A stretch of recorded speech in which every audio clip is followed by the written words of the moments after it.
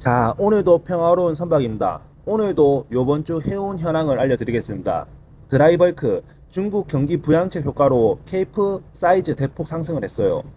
유조선 같은 경우에는 VLCC 12월 초순 물량이 확대돼 가지고 운임이 약간 상승했대요. 컨테이너선 같은 경우에는 지금 3주 연속 상승했다가 운임비가 조금 떨어졌어요. 그리고 마켓은 신조가가 지금 고점을 못 넘기고 있어요. 지금 연료유랑 국제유가는 계속 떨어지고 있어요. 이제 겨울 시즌이 됐는데도 연료유는 계속 떨어지네요. WTI 67.02달러, HSFO 467.5달러, LSFO 565.5달러, 스프레드 98달러 요렇게 유지하고 있네요. 케미컬 같은 경우에는 벤젠이 880달러, 톨루엔이 715달러, 자일렌이 820달러 유지하고 있습니다.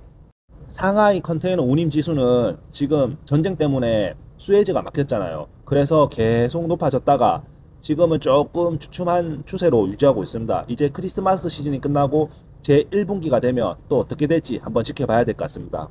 상하이 컨테이너 운임 지수는 2331.58포인트 그리고 미국 서한, 미국 동안 같은 경우에는 40, 40피트짜리 기준으로 지금 가격이 측정되어 있고 다른 것들은 지금 20피트짜리로 기준이 되어 있어요. 특히 지금 동서아프리카, 남아프리카 컨테이너 운반 비용이 조금 높아요. 왜냐하면 요즘에 파나마를 파나마는 통항하지만 수에즈는 통항 못하고 있잖아요. 그래서 대부분의 선박이 다 우리 더반을 거치는 거에도 불구하고 비용이 좀 높아요.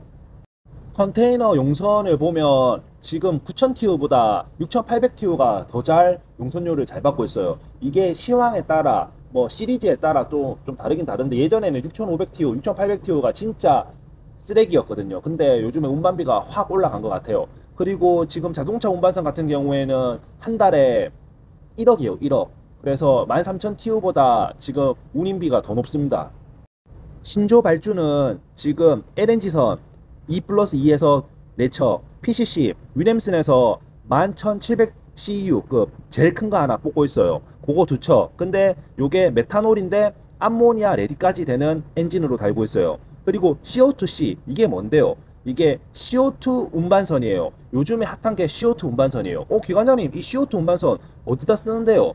저희가 이제 CO2를 뭐 포집을 한다든지 CO2를 모으잖아요. 그 모은 CO2를 이제 호주나 중동 쪽으로 싣고 갈 거예요. 그래서 그 CO2를 이제 광물 밑에 다 집어넣을 거예요. 그러면서 호주나 이집 아, 호주나 저 중동 같은 경우에는 CO2를 내가 사서 그 값을 벌고 그리고 그 CO2로 이제 그 안반 같은 데 밀어 넣어 가지고 기름을 더 쉽게 올릴 수 있게끔 압력을 더 가하는 데 쓴다고 하더라고요. 오늘 이렇게 시청해 주셔서 감사합니다.